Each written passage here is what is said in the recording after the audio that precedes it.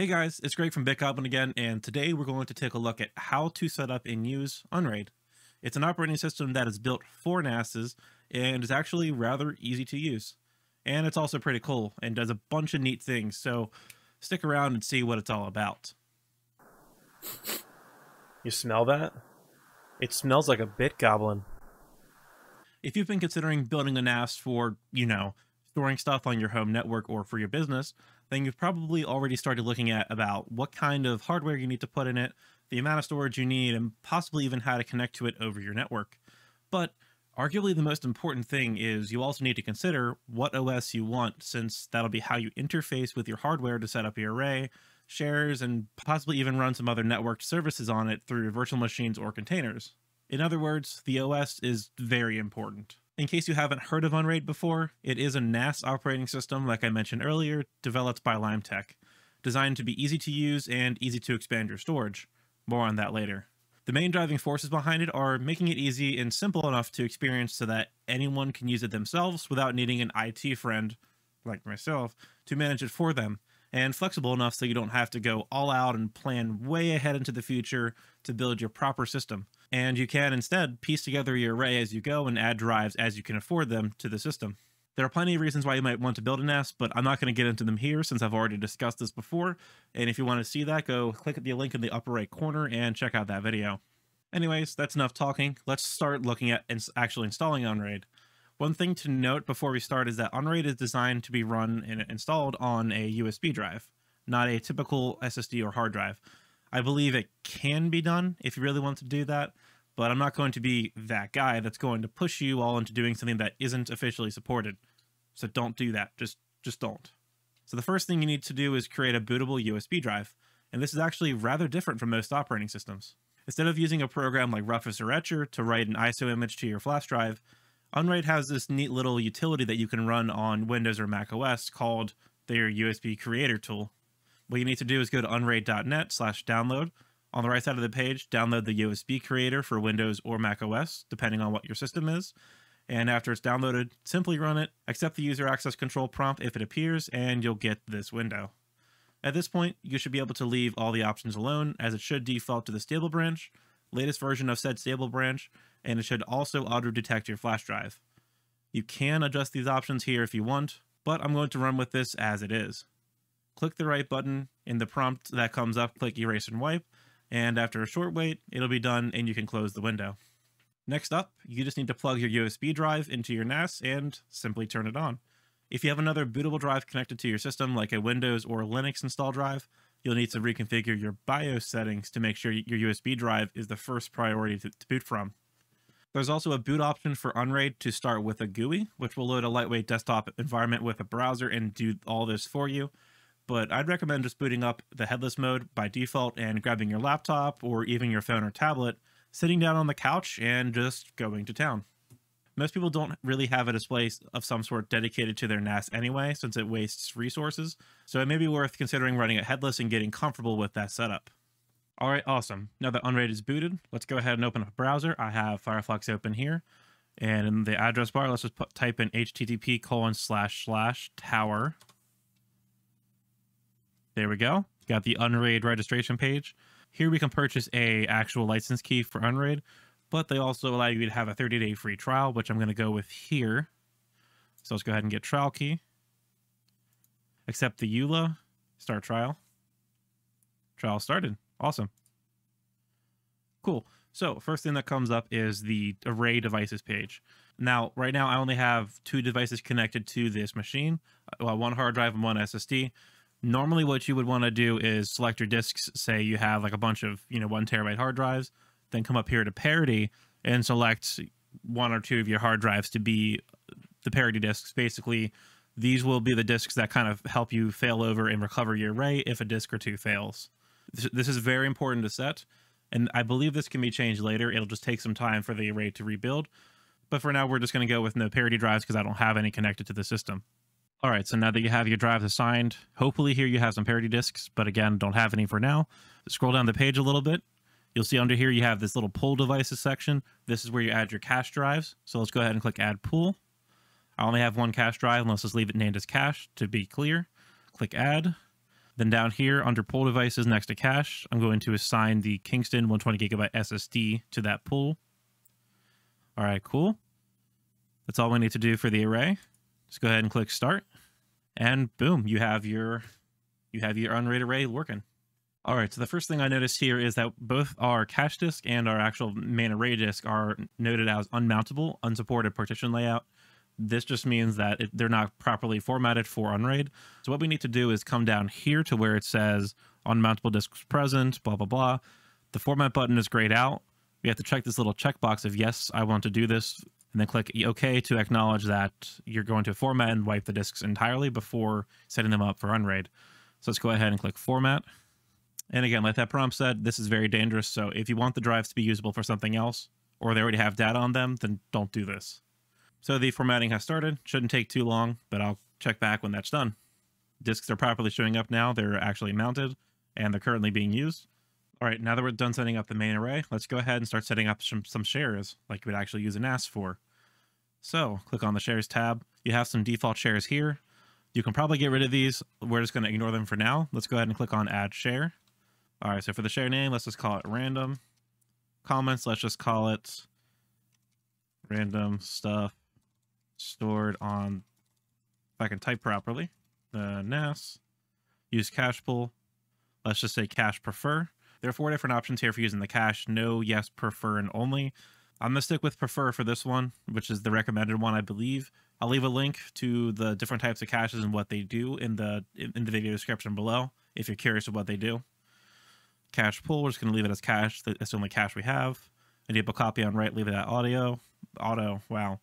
Going to leave included disks all and excluded disks none. So let's go ahead and just click add share. Cool. So our random file share is set up. Now to log into it, let's go to users tab and set this up. Now you're not going to be logging in as a, root user, but let's go ahead and while we're here and change the root user password because by default there is no root password. Let's just call this super strong password. Now that the root password is set, as you see, it logged us out, out of the web UI, but the root user is what is used to log into the web UI and actually manage the NAS. As far as I'm aware, you cannot set other users to, build, to able to log into the web UI. Only the root user does. But yeah, so let's go ahead and do root super strong password, log in. Now we're back to the web UI. So anyways, let's go back to the users tab, click add user. Let's just call this my user description, my user, type in a password for it, just call it password. Now this user that I created, my user, is what you use to log into your NAS when you're actually setting up your shares. Go away, Bitwarden. I don't want you. So let's just say we opened up Windows File Explorer and we're going to go add the file share to our system. What we do is right click on this PC, map network drive, set a drive letter if you want to, slash slash tower slash, what did I call it? Random. Reconnected sign in. I'm going to uncheck this, but you'll want to check this if you want it to automatically log into the share when you sign into your account and connect using different credentials. So here, this is the user that we set up, my user and password. And you connect. Apparently that didn't work. All right, cool. Now, if you type in the right password, then your share will actually be mounted. As you see here down under my disks, you have the random share. Under tower, you can start creating folders, my new folder, whatever else you know, create text documents, and then you can access them on any other machine that you set up to connect to this NAS. Pretty easy, right? So now that we've gone through how to set up Unraid, let's just talk about why you'd want to use Unraid over another operating system for NAS is like FreeNAS, Open Media Vault, or just a plain old Windows or Linux operating system. First off, Unraid is actually really easy to set up. As you saw, it really didn't take too long. It kind of walked us through actually setting up the array, putting all the drives in, all that kind of fun stuff. And once you're done, all you had to do was create the share, create your user, and you're off and running. And even creating the bootable USB for Unraid was actually rather easy. They gave us a tool, everything defaulted as we wanted it to, and it created the drive within like a minute or two. We didn't have to like off the top of our head know any crazy programs to get it done. And yeah, there's not much to say there. It was really easy to set up and I kind of liked it. And that's all compared to FreeNAS, which takes a bit more knowledge and understanding of the ZFS file system to get it correct. Which, to be honest, I've set up FreeNAS two or three times in my life, and every single time, like I kind of like learn new things of like how to set like the block sizes and stuff right to get the best performance out of each share. And, and honestly, I still don't have it quite down right. So it takes some getting used to. And also, on the other hand, you have like plain old Linux and Windows uh, file shares that you can use, and they're very flexible for doing so, but they don't really provide a nice guided experience like Unraid. Now, one big feature of Unraid is the ability to simply add one drive at a time to your storage pool to expand it, instead of needing to add big bricks of hard drives at a time, which you would need to do in a typical RAID or ZFS setup. Having this feature is really nice, and that if you happen to come across a spare 2 terabyte drive, or you can buy one because it's on sale, you can just chuck it in, change a few settings on your array, and let Unraid figure out some things, and you'll have just 2 more terabytes to use. This really is a great selling point for a lot of people who don't want to blow $800 or more just to add five more 6 terabyte drives to expand their storage, like myself. And another neat feature, although it's available in other ways on other platforms, is the ability to add a small SSD write cache to your array.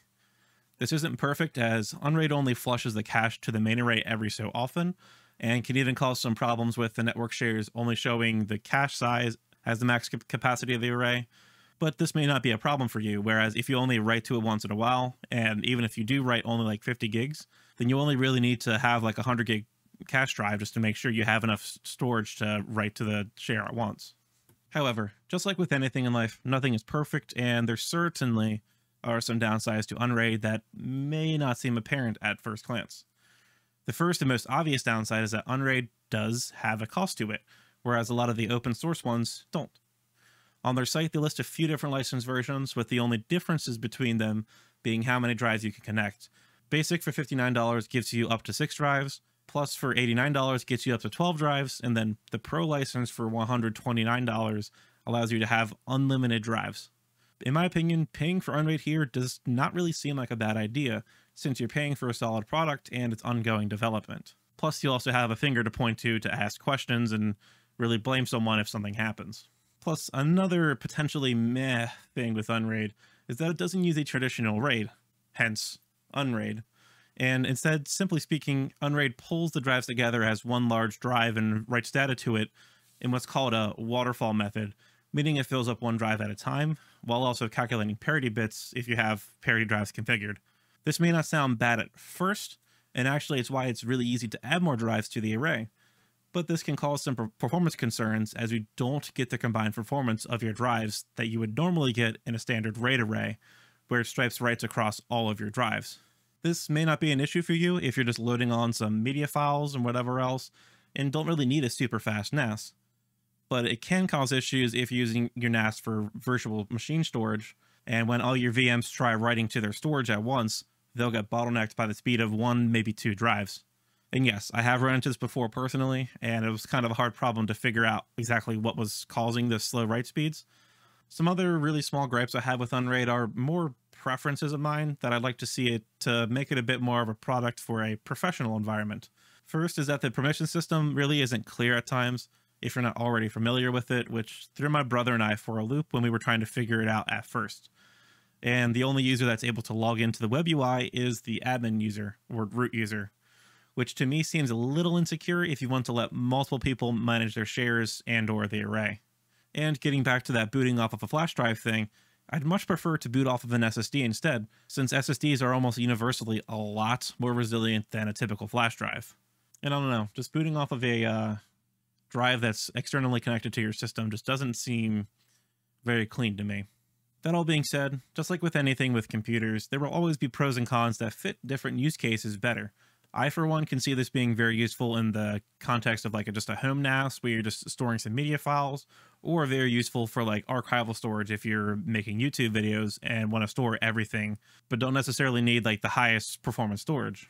As for me personally, while I don't currently use Unraid on my NAS and instead have been using FreeNAS for the last six years or so, I'm actually thinking about switching to it when I next upgrade my NAS, since this seems like a bit better, more flexible solution for my home.